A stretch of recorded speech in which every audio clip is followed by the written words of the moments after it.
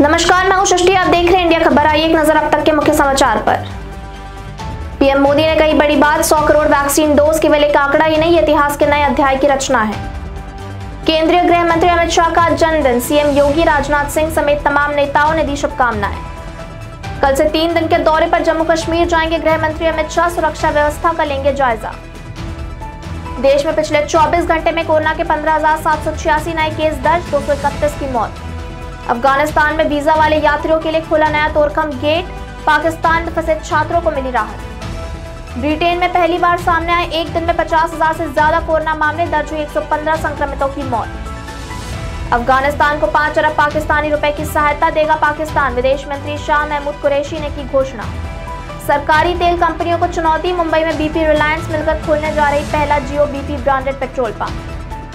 T twenty world cup में England team में नहीं स्टोक्स और आर्चर जेसन रॉय ने बताया शर्मना रावण के बाद सीरियल रामायण के एक और कलाकार चंद्रकांत पांड्या का हुआ निधन, शो में निभाई थी राम के दोस्त की भूमिका।